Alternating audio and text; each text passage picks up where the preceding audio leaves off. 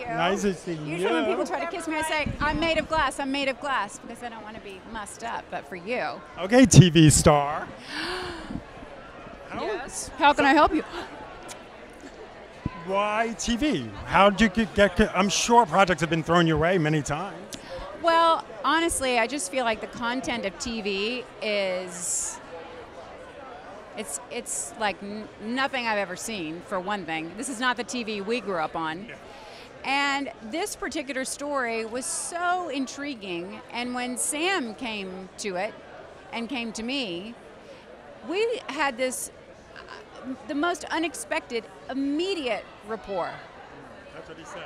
I, I, mean, I, honestly, I don't think I've ever made friends with someone faster than Sam Esmail.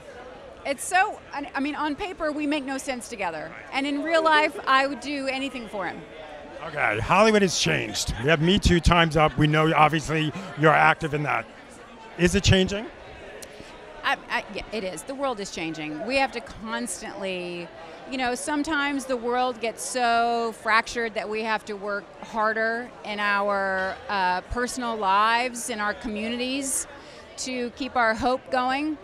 And sometimes, you know, the world seems a better place, and we feel we don't have to, you know, churn our engines quite so hard. And this is a time where we just have to constantly be on our game as a community, as a, as a race.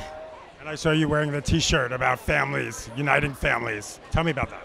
Well, honestly, this this family separation, I mean, this isn't necessarily the time and the place for it, but it is something that uh, that I, I'm sick over, and I feel like I was brought into a great foundation with the Kennedys to uh, work for their break breads, not families, and that just really kind of started me. This is what I love about community, is that that started me on a path that inspired a friend of mine that started her on a path, and she's the one that made the We Are a Family T-shirt, and she has now aligned herself with the foundation Together Rising, and I just love when you see that we we each have this impact on one another to do great works, and just a little bit here and a little bit there, it makes so much difference, and it really does keep.